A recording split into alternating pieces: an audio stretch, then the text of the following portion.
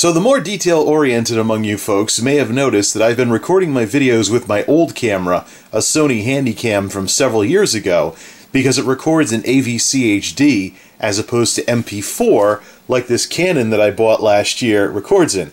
Now, I bought this, it was a great camera until I found out MP4 flakes out when you start editing it. Once you're changing the lengths of clips, you have problems with phantom syllables.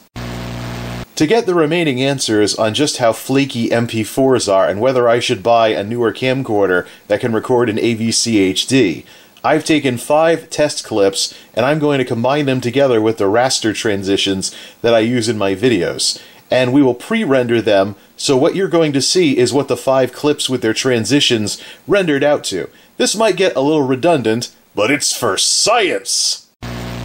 First, let's test a pre-render using the MP4 transition raster clip that I've traditionally used up to the point I found out that this bug was a thing. And let's see how many phantom syllables we get. This is clip 1. This is clip 2. This is clip 3. This is clip 4. This is clip 5.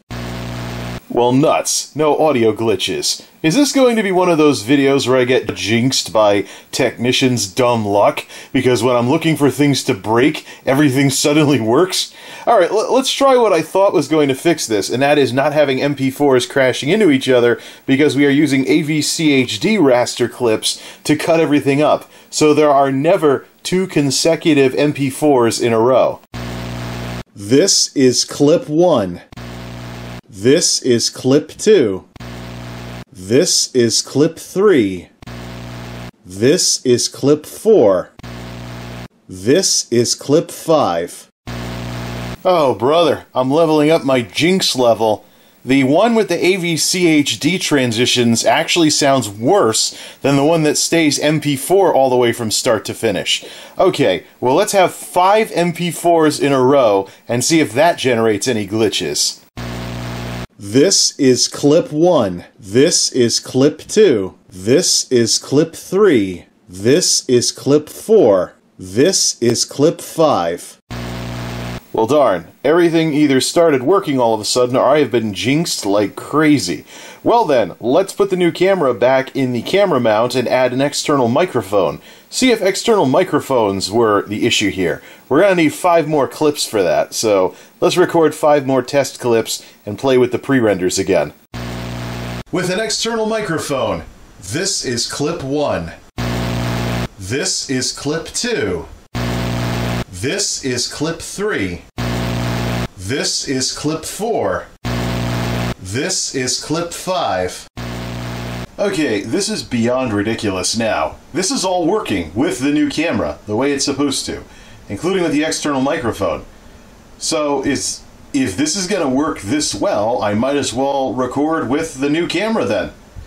And watch. I'll bet any money I'm jinxing everything. And now, now that I'm actually doing these long discussions instead of this is clip one, this is clip two, I'll bet now is when it screws up. Womp, womp, womp, womp. Well then, maybe redoing the computer and putting in the M2 SSD fixed the old audio glitch thing, or, well, no, it didn't, and that's one of the reasons why I wanted to try this. So yeah, nothing is glitching out. Whatever.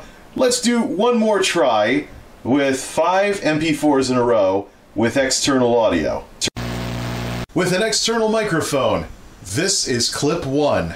This is clip 2. This is clip 3. This is clip 4. This is clip 5. Whatever. Well, that's enough being made to look like an idiot by equipment for one night. Now watch. I'll go try to record a regular video with this setup and the audio will start glitching again. Typical technician's jinx. Things work when they're not supposed to, and things break when they're supposed to work. Whatever. MultimediaJay out.